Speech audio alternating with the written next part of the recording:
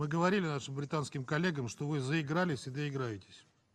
Новичок – это не российский копирайт, несмотря на якобы очевидное русское название. Это название придумано на Западе для линейки боевых отравляющих веществ, которые, что не является откровением для экспертных и научных кругов,